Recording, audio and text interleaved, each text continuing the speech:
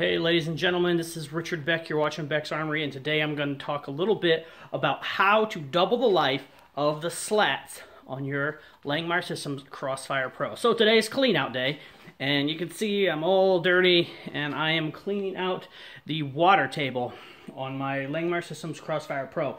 So I know um, you know your slats start to get you know really you know ruined. Well, I'm going to show you how to at least double the life of your slats. You know, sometimes you get some of these that are really bad and they might look hopeless. But it's not. Got quite a bit of buildup here. We're just going to knock it off.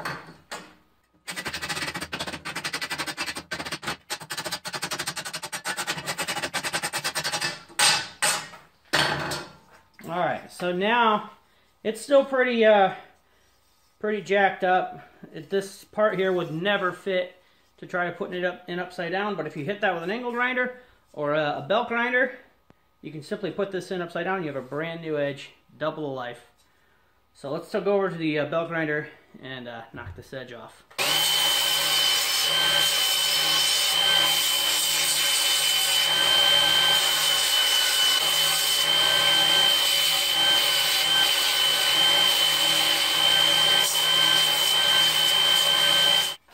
Now you take this guy here and you put the ruined edge down.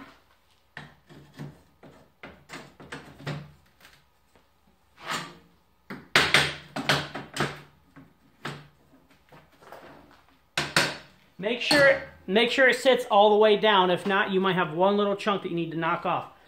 Anyway, there you go. That's how you uh, double the life of your slats. Make sure you like and subscribe to this video. If you have any questions, leave those in the comment section below. I will see you next time, guys.